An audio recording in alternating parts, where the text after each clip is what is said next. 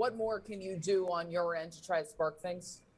Um, well, f- first, I, I mean, Hill obviously shut us down and was real pitch efficient there through five. I, I actually thought at bat wise against Hill, um, you know, we hit a number of balls on the screws. You know, at bat quality was you know much better than I thought over the weekend.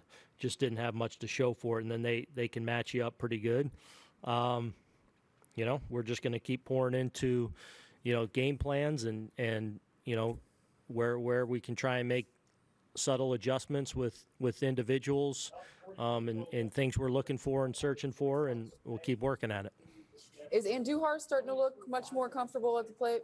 Yeah, it was good to see him get a couple really good swings off today. Obviously, the double he was, and then the homer the other way. Um, it's good to see. You know, we know what he's capable of. You know, maybe he can get a little bit of traction going, and, and certainly, uh, you know, add some length to our lineup. And with Taillon, how do you evaluate his day as a whole? I thought he threw the ball well. I thought actually, I thought his other pitches were even more in the mix today. You know, I thought he flashed some good sliders. You know, Kiermaier took advantage of a couple mistakes to start innings, to start rallies for him.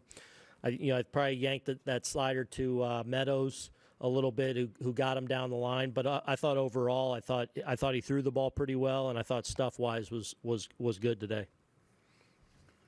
Dave Lennon, please unmute.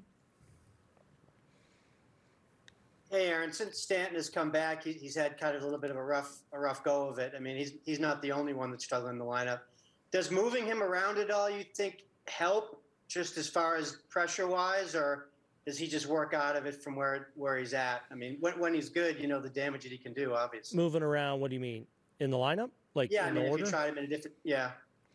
Oh, I, I mean, he's been back a couple days. I mean, you know, so, you know, I'm not. Uh, G will be fine as as long as he's healthy and you know starts to get his reps going. He'll be fine.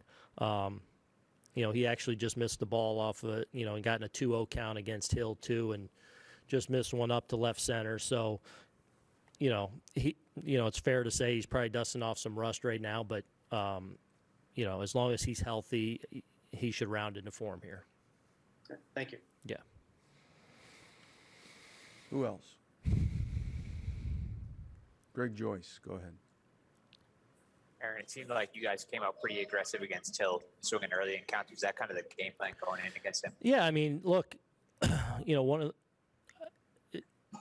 you know, as much as you know, I talk about and we talk about here, controlling the strike zone and making pitchers work. That doesn't mean don't be aggressive. Uh, you know, a lot of times that first pitch is the best one you're going to get, and and if and if something you're looking for in an area you can do damage against, uh, you know, I thought guys got a lot of good swings off in the first inning. You know, DJ smokes the ball, lines out the center to start things. Judgy the double. Gio hit three balls really well today. And, and had nothing to show for it, but you know I thought game plan. I thought they got some pretty good swings off of Hill for for him shutting us down. Lindsay Adler, go ahead. Aaron, you've, you've talked about this a few times over the years, but what would you say that the Yankees' offensive philosophy is? Um, well, control the strike zone, and and do damage when you get a pitch that's, you know, a, mistake or or your pitch to do damage with, and that's that's the identity we've got to get back to to having. That's you know what these guys have been so good at, you know, over the last several years is is you know that pass the baton, make a pitcher work. You know when when you get done with us in a series, um, you know even even if even if you've had success on a given day or success in a given series where a guy's pitched really well, you know we want we want you to feel like it was heavy, it was difficult, it was a lot to get through us, and and that hasn't been the case enough, and that's what we got to get back to as a group, really making sure we are, you know, you know, not taking it all upon ourselves, but going up there and grinding out a really tough at bat, and you know, if we can do that, and with the guys we have in there that are capable, that should start to work.